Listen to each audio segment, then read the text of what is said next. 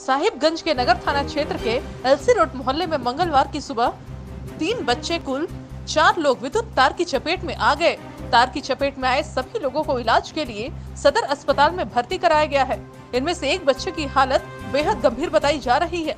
प्रत्यक्षदर्शियों के अनुसार एलसी रोड मोहल्ले में संचालित बैटरी हाउस नामक दुकान में पोल से गए विद्युत तार की चपेट में तीन बच्चे, जिनका नाम है मोहम्मद साहबान, नौ वर्षीय मोहम्मद अनस चार वर्षीय और आसमा खातून तीन वर्षीय।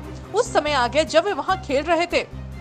विद्युत तार की चपेट में बच्चों को आता देख मौके पर मौजूद उसी मोहल्ले के मोहम्मद आसिफ, जिनकी वर्ष 28 वर्ष है, ने उन सभी को बचाने का प्रयास किया, पर बचाते हुए भी वो इस तार की चपेट में आ गए। बाद में अन्य लोगों के सहयोग से किसी तरह आनंद फानन में उन चारों को विद्युत तार से मुक्त कराकर इलाज के लिए सदर अस्पताल में भर्ती कराया गया, जहाँ एक बच्चे की हालत ज़्यादा गंभीर बताई जा रही है। विद्युत सर्पघात की चपेट में आए लोगों का इलाज कर रहे सदर अस्पताल के डीएस डॉक्टर मोहन पासवान ने बताया की सभी को इलाज के लिए भर्ती करा दिया गया है। उपलब्ध संसाधन के अनुसार बेहतर चिकित्सा सुविधा प्रदान की। वही मोहल्ले के कुछ लोगों ने इसके लिए विद्युत विभाग को दोषी मानते हुए कार्रवाई करने की भी मांग की है। कुछ देर पहले तीन बच्चे आए जिसको एल सी रोड में करंट लग गया था। और एग्जामिन करने के बाद अभी तो एक दो बच्चों में ऐसा लग रहा है कि विजिलेंट रहने की ज़रूरत है।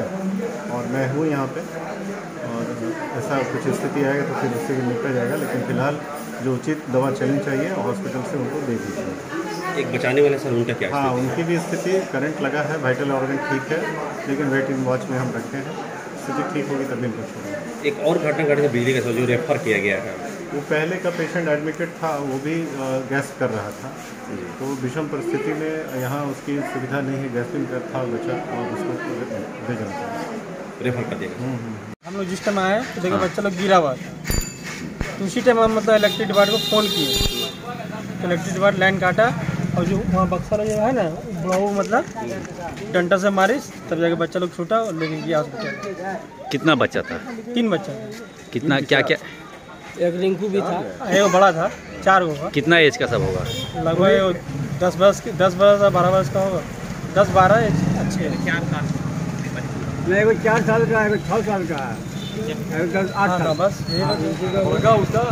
सब लोग को हॉस्पिटल ले गया। वो लोग सब लोग कहाँ ले गया अभी? हॉस्पिटल सबको हॉस्पिटल ले अपने राज्य से जुड़ी हर ताज़ा खबरों के लिए आप हमें सब्सक्राइब करें साथ ही बेल आइकन बटन दबाना ना भूलें।